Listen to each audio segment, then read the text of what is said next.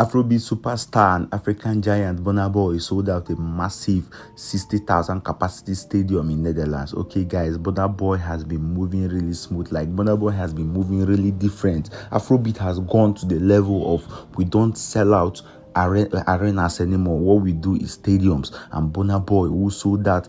This is this this is his first stadium. Burna Boy is selling out at his Love Damini Stadium tour. He sold that a stadium in Paris. He sold that a stadium in New York.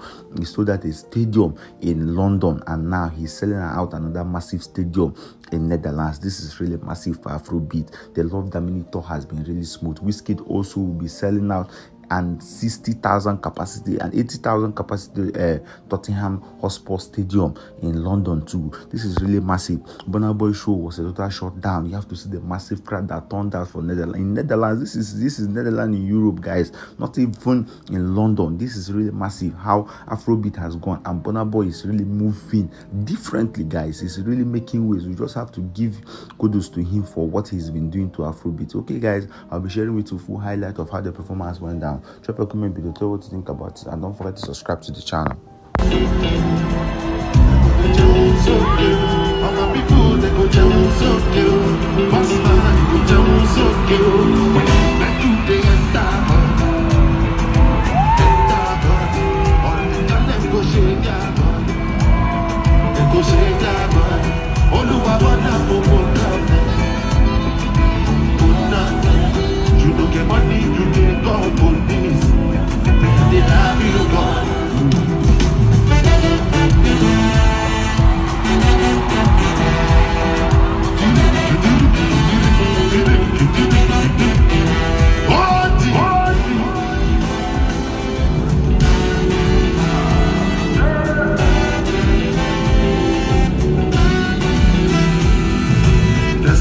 the I don't know